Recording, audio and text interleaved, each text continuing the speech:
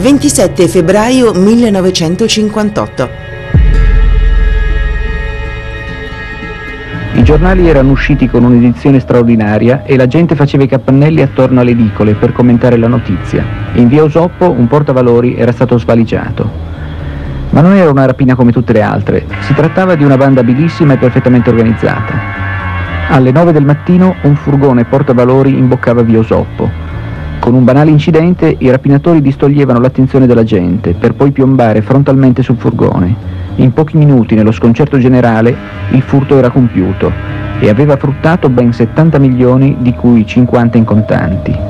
Dei rapinatori naturalmente nessuna traccia, se non quelle lasciate sui mezzi incidentati. Ma come trovarli in una città che nel 1958 faceva quasi 2 milioni di abitanti? La ricerca appassionava la gente, mobilitava la polizia e naturalmente l'Interpol, alla scientifica a ritmo febbrile si fotografavano e si analizzavano le impronte digitali, mentre gli agenti setacciavano la zona del giambellino Lorenteggio. È dentro questo cerchio, diceva il telegiornale dell'epoca, che hanno agito i banditi e forse in queste case hanno stabilito la loro base operativa. Ma il 31 marzo del 1958 il cerchio si chiudeva e cinque dei rapinatori di Viosopo cadevano nelle mani della polizia.